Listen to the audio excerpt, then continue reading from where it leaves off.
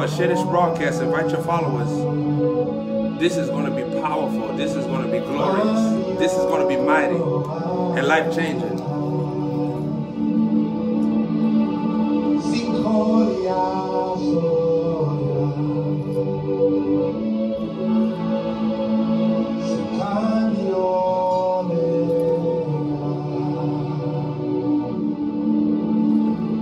This is going to change your life, saints. Telling you, everybody share this broadcast. Invite your followers and say, Lord, I received the prophet's reward.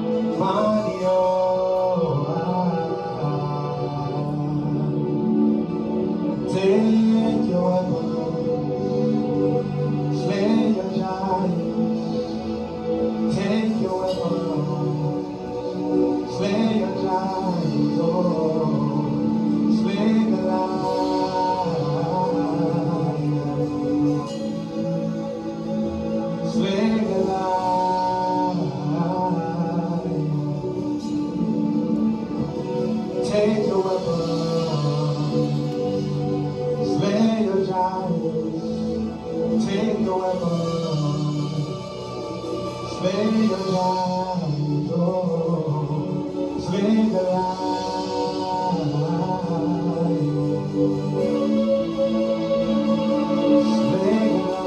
to God.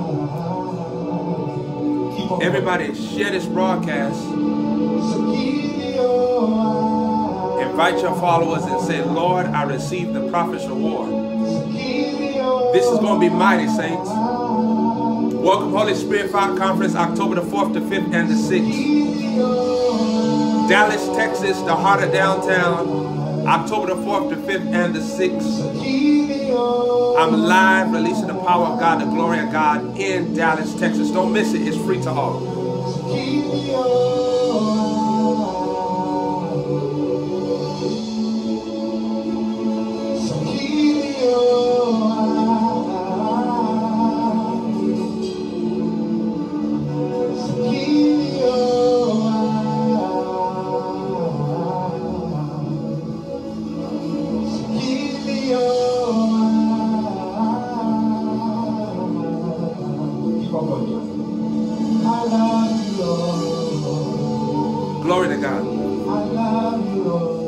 Lord praise. That's me saying something.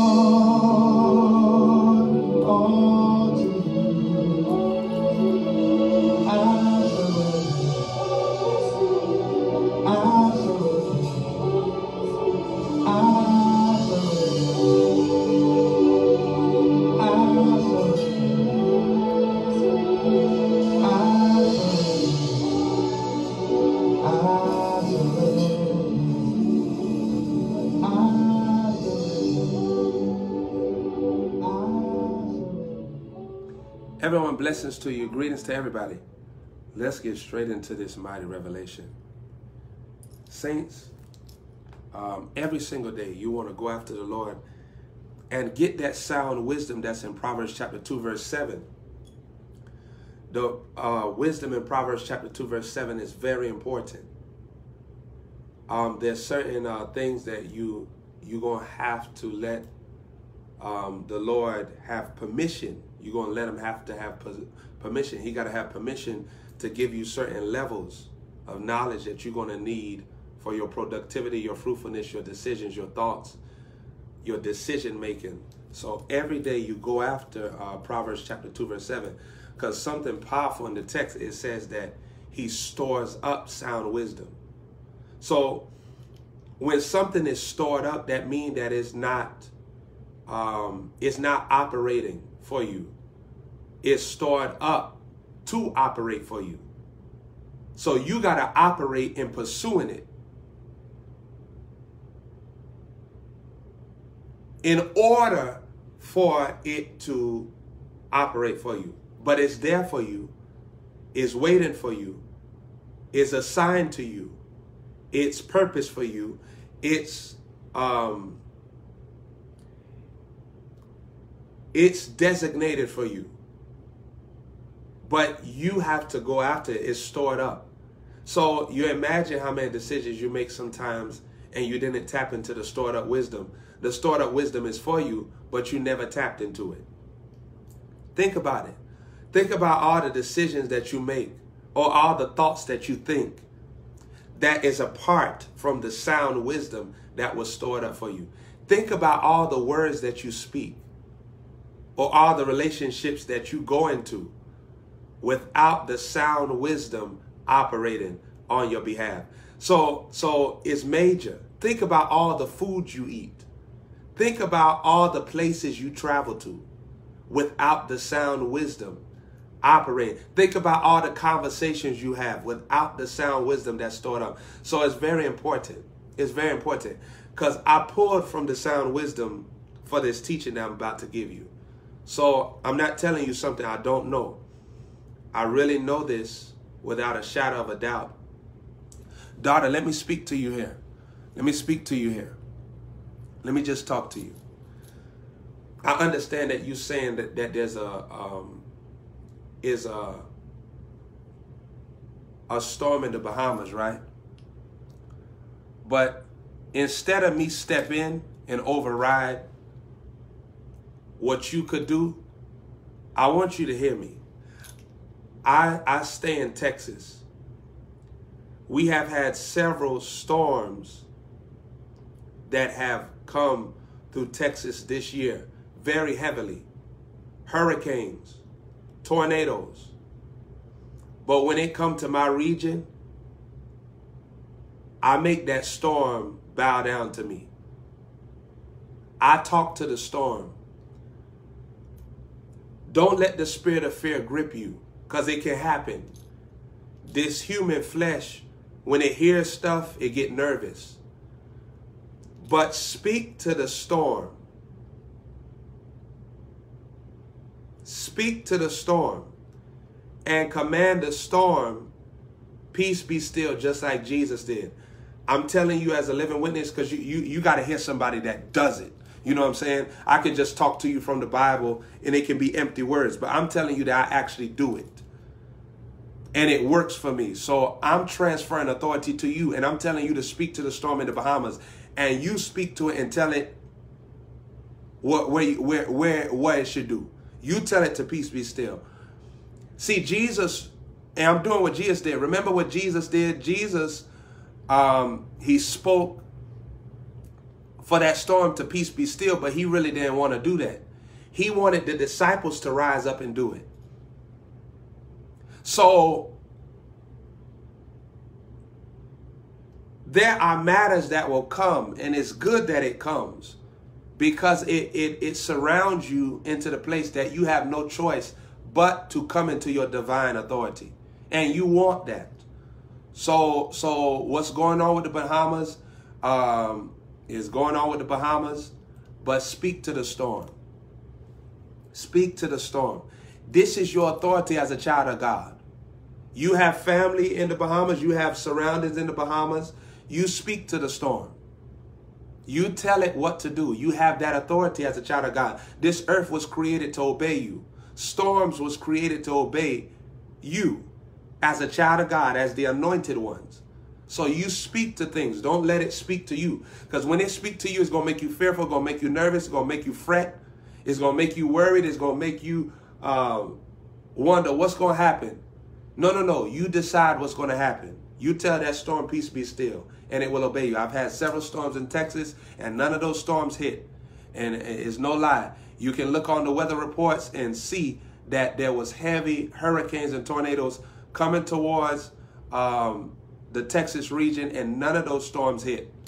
All them storms shut their mouth because I'm here.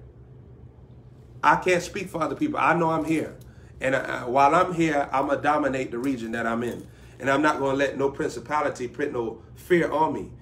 And uh, principalities, they know when you carrying God rank and God God's authority and God's power, and they have to bow down to that.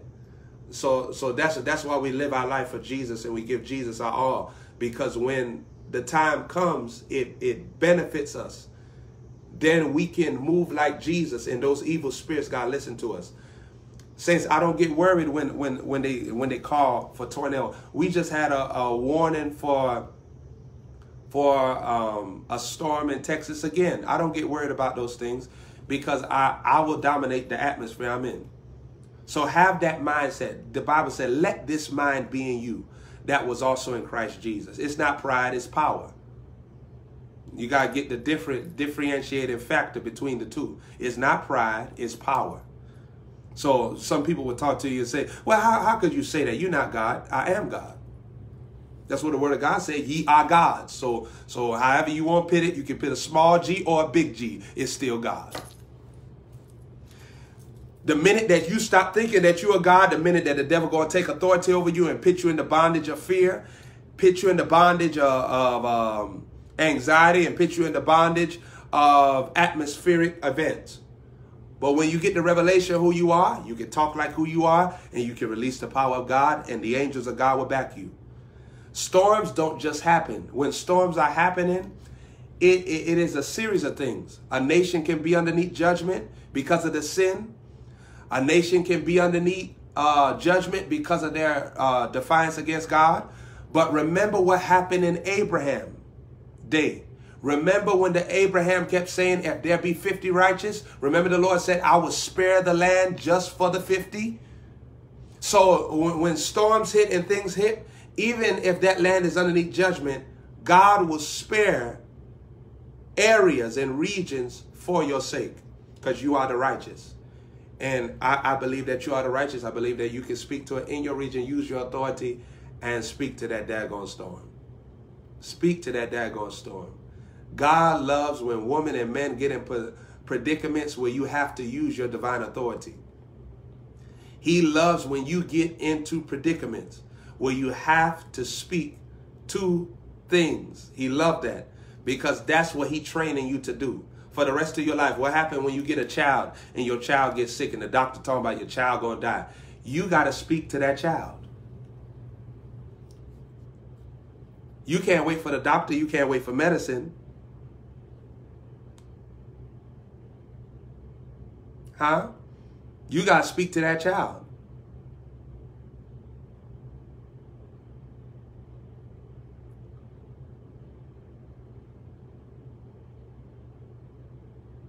The Holy Spirit wants you to learn how to speak to things and govern. Don't let things speak to you because that's the minute that you're going to be raped by demons. Don't let no demons rape your authority or rape your dominion. Don't let no evil spirits rape you. When you let things speak to you, it can rape you. It can take away your dignity. It can take away your dominion. It can take away your deliverance. But you got to speak to things. When you see your bank account and it's bothering you, I'm supposed to have more money in here. Speak to the bank account. Say in the name of Jesus, I decree abundance and abundant life in this bank account. I decree money cometh to me in this bank account. I decree I have money to live the life that God want me to live and to help the gospel go forth and to be a blessing to many nations. I speak to my bank account. Speak to things. Remember, God is showing Ezekiel the dry bones, but He not showing Ezekiel the dry bones for the dry bones to speak to Ezekiel. He's showing Ezekiel the dry bones for Ezekiel to speak to the dry bones. If he let the dry bones speak to him, what he's going to do is he's going to lose faith in God. If he lets the dry bones speak to him, he's going to lose his authority, his dignity as a prophet of God. But when God asks him a question, it is to activate you. It is to activate him. When the Lord asks you a question, it's to activate you. Sometimes, daughter, you'll be sitting down and God will speak questions to you. Are you happy with your situation? He's speaking questions to you to activate you. When he asks Cain, Where's your brother? It's to activate Cain, to let Cain know you just murdered him. You just did something wrong. You just stepped into a demonic quality. That was not the will of the Father. The Lord uses questions to activate you, to get you to be quickened of what you're supposed to do and what you're not supposed to do. Remember the four lepers? They asked the questions, why sit here and die? They was poor. They was lepers. They had no food. They had no money. They said, why sit here and die? When they said that question, it activated them into the wisdom of God of where to find the riches, the wealth, because God chased that army out and they got all those riches and wealth. All that money came into their hands. But if they never asked the question, why sit here and die, they would have stayed sitting there. Now, one thing that you want to catch is it says, why sit here and die? So the place that they're sitting is in death. They're in a gate of hell. On this rock I build my church, and the gates of hell shall not prevail against it. They're in a gate of hell. They're in death. Why sit here and die? So the place that they are sitting in the spirit realm is separated from God. It's separated from God's will. It's separated from God's plan. It's separated from what God desires for their life. So they said, why?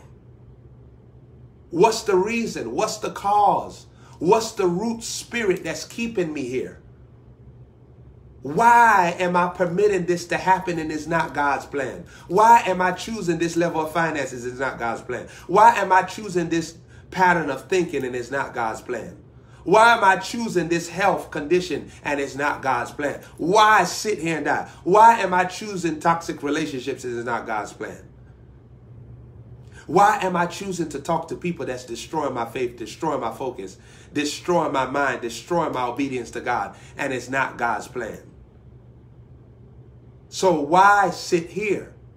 They realized that they was not seated in the heavenly places in Christ. They was not in the position that they was created to be in. Why sit here and die? So this seat can only make them more separated from God's will. Because dying is separation from God. This seat is making them more separated from God's plan. So they said, why sit here and die?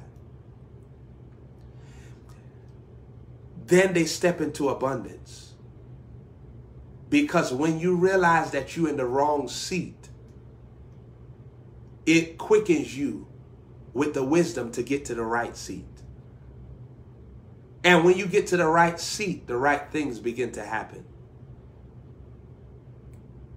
When you get to the right seat, abundance start manifesting. Joy start taking place. Health enters your body. Happiness enters your soul. Wisdom enters your decisions. Sanctification enters your company you start being sanctified. Remember John 17, 17 says, sanctify them by your word.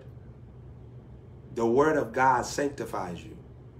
It sets you apart. It takes you away from the wrong crowd, the wrong company, the wrong conversations.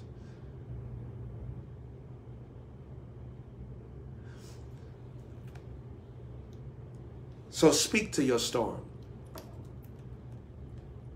Use your authority and, and recognize those situations that God let happen in your life as an opportunity for you to speak to things and command things to change. Now, saints, I want you to see something. If we go to Second Kings, Second Kings chapter um, chapter two. Second Kings chapter two. And if we go to verse um, verse 12. Look what it says here. It said Elisha saw it. Or uh, let's go to verse 11. Second, uh, Second Kings chapter 2, verse 11. Let's go here. Now, this is very powerful. It says, and it came to pass. as it came to pass,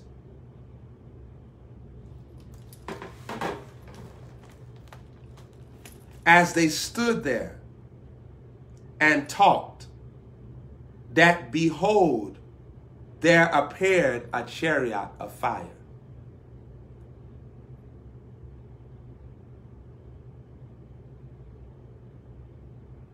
Now, something that I want you to catch in this text is very powerful.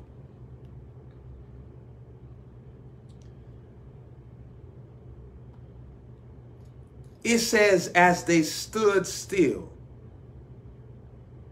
and talked. I want you to see this. While they're talking, the chariot of fire appears.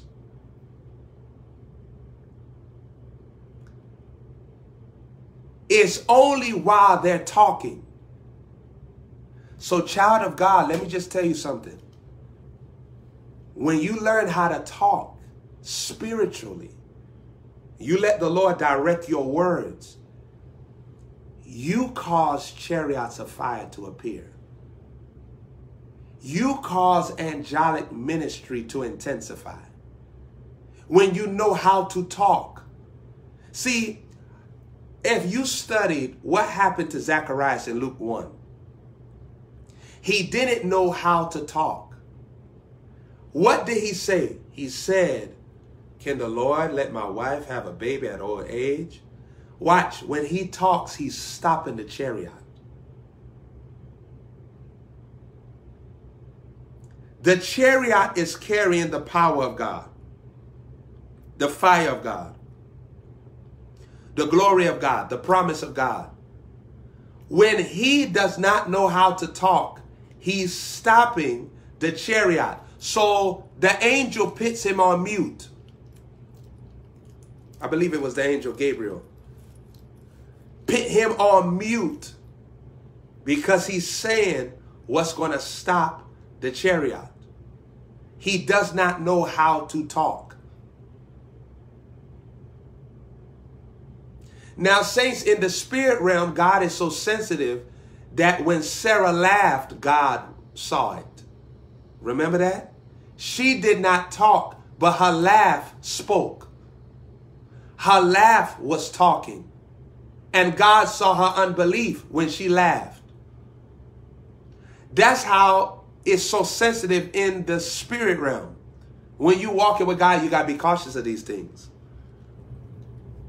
Because God could hear your laughter of doubt. He can hear you when you're talking in your emotions. Because when you're discouraged, you're telling God, I do not believe that you're going to do it. When you're weary, you're telling God, I don't want to wait anymore because I don't think that it's really going to come to pass. That's why when you get discouraged, yes, there's a demonic area of that discouragement. But there's also a God area of that discouragement where he begins to deal with you and he whoop you. And he say, how dare you? How dare you act like I'm up here some small God? How dare you? So God check you in the midst of that. So in depression, yes, it's demonic. You don't just get depressed because you're going through some medical condition. Man have made that a medical condition. That's a demon. Depression is a demon. It's an evil spirit. It's a witchcraft spirit. You can't serve the Lord with gladness while you're depressed. So it's a witchcraft spirit. It'll make you rebel against God or rebel against the attitude that God wants. Because do you know that there are some depressed people that do do what God says? But they're in rebellion, not in their deed. They're in rebellion in their attitude while doing the deed. You caught that? They're not in rebellion in the action, they're rebellion in the way that they're acting while doing the action. See, saints, acting and action are two different realms.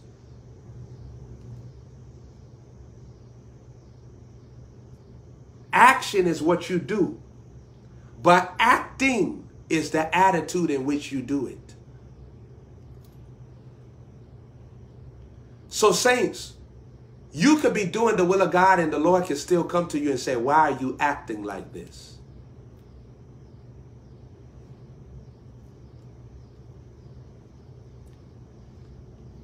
You're doing God's will. But God is not looking at the will being done.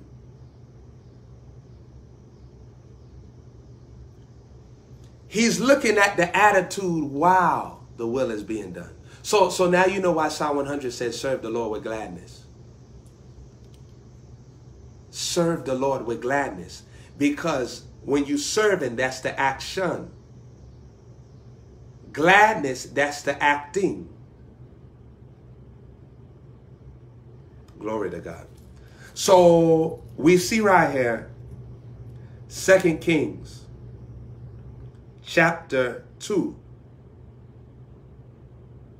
verse 11. It came to pass as they went on and talked, that behold, there appeared a chariot of fire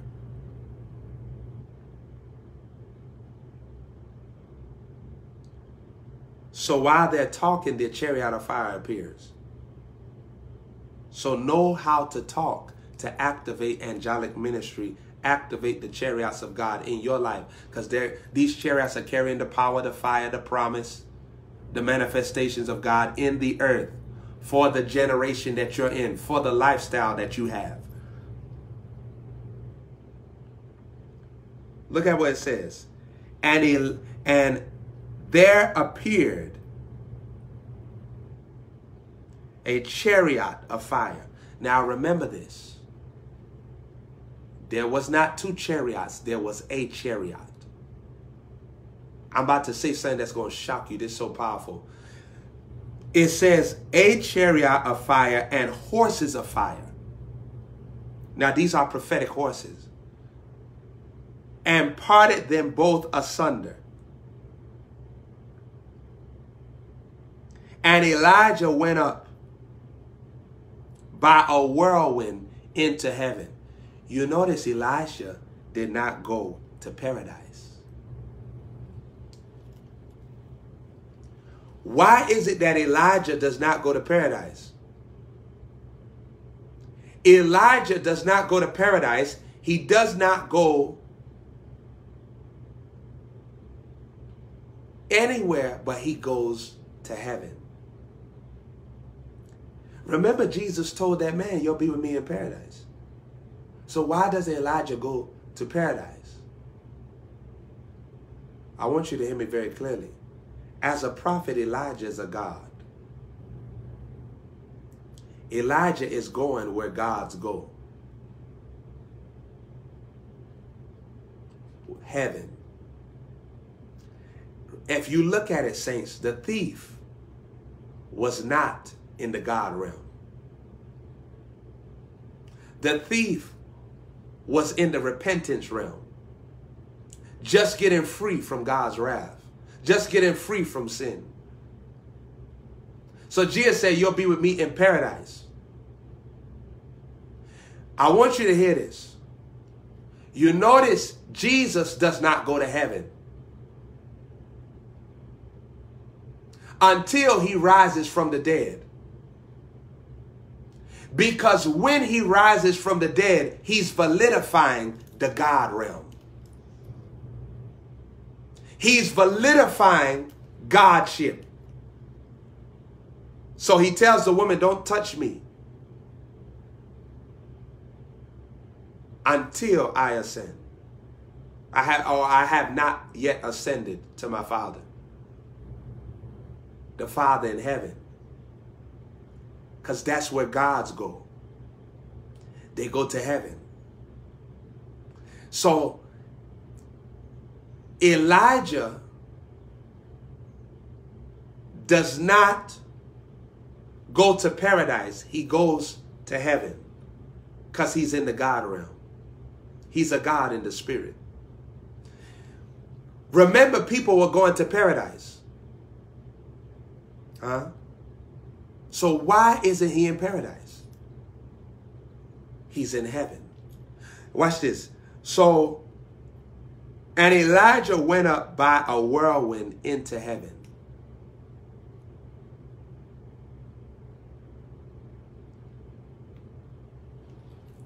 Now, saints, I want you to see this here.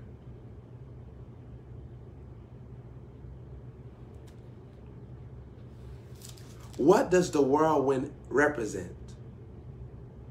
The whirlwind, the whirlwind represents atmosphere.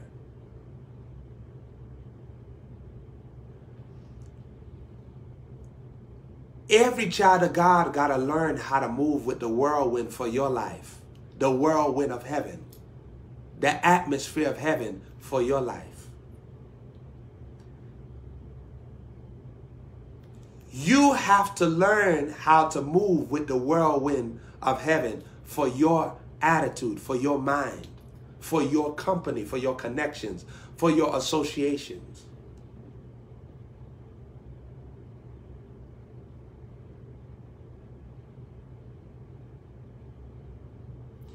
The whirlwind is an atmospheric realm with the with the Father that keeps you in godliness. Now,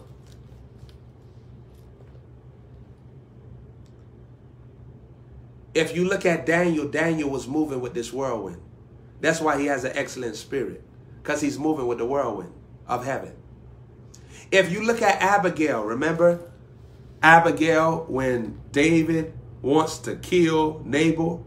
Remember Abigail comes out and the Bible says she has the spirit of wisdom and understanding, and she calms him down. She's moving with the whirlwind of heaven. People that move with the whirlwind of heaven have the, the power to make peace on earth. They have the power to be mature. They have the power to create God's order in situations. When people have the whirlwind of heaven operating on them, they do not settle for drama. They look for solutions. And if there's no solutions, they dust their feet off and keep it moving. Remember what the word of the Lord said? It said Jesus told them, if you go to a place and there's no peace, dust your feet off and keep on going. That's the whirlwind of heaven. The whirlwind of heaven is when you're you're able to create peace. Remember, Jesus said, Blessed are the peacemakers, for they shall be called the sons of God. Now, saints, what was Jesus say if you go to a house and they don't give you peace or they don't receive peace? It say, dust your feet off. What does peace mean? It means wholeness. And how do you receive wholeness? Remember what Jesus told the man that had the infirmity 38 years? Will thou be made whole? So wholeness means that you let Jesus fix you. So when Jesus told the disciples, if you go to a place and there's no peace, dust your feet off. That means if you go to a person and they don't want Jesus to fix them, leave them alone and keep on moving on with your life. Hallelujah. Hallelujah. Isn't this glorious? See, you got word of God backing you on this. It's telling you if you go to someone and they don't want to be made whole, if they don't want peace, if they don't want the peace of God, if they don't want the wholeness of God, if they don't want Jesus to fix them, keep on moving on with your life. Go forward. So you unlock that whirlwind of heaven on your life when you're praising God, you're thanking God, you're sowing seeds into the gospel, you're honoring the Father with your substance. You step into the whirlwind of heaven when you walk in forgiveness towards people when you forgive them, when you don't hold on to bitterness and try to get revenge, you're moving in the whirlwind of heaven. You're moving in the whirlwind of heaven. That whirlwind of heaven is on you. When you can submit yourself unto God, submit yourself unto someone that God has sent to your life, your man of God, your divine king, someone, your, your, your high priest, the person that God is using to give you knowledge, to give you wisdom, you're moving with the whirlwind of heaven when you are serving, when you're solving problems, when you're being a solution to things on the earth. You're in the whirlwind of heaven.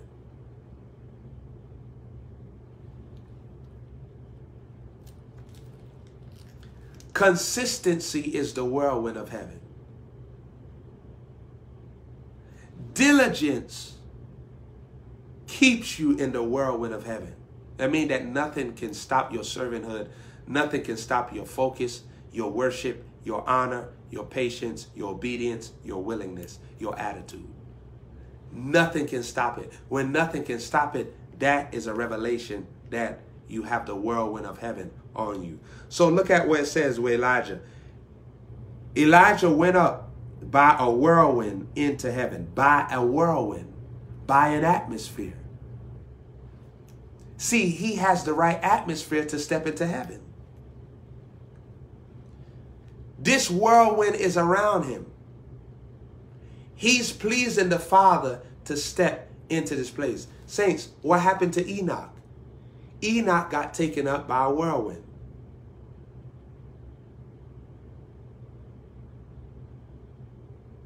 What did the Bible say? Enoch walked with God and was no more. He got taken up by how? The whirlwind.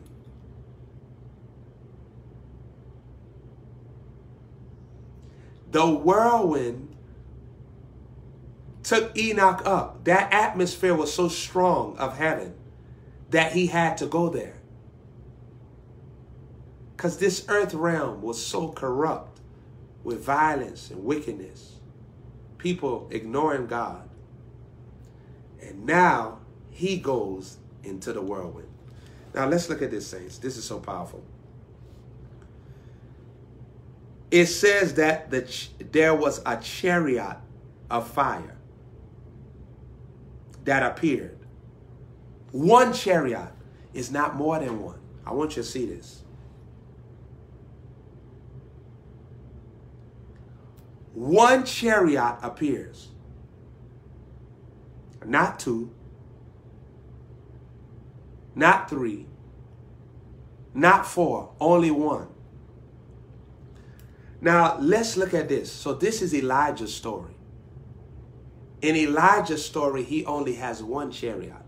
Now, let's look at 2 Kings chapter 2, uh, 2 Kings chapter 6, verse 17.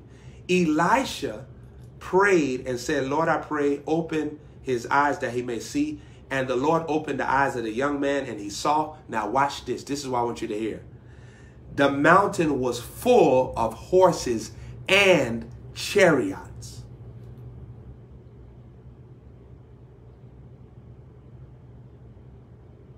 Look at this, saints. It says that the mountain was full of horses and chariots. Now, this is more than one chariot.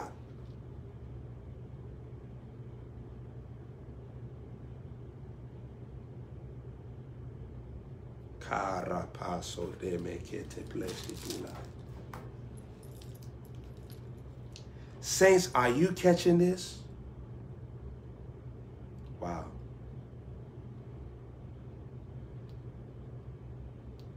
Saints, he has more than one chariot. And Elijah, when the, Elijah was about to leave, the Bible said there was only one chariot that came. Now, how is Elisha opening up this man's eyes through the prayer? And this man sees all these angels. And now when when when when Elijah is on the scene. There's only one angel that appears. How is it that Elijah has one? But Elisha has many.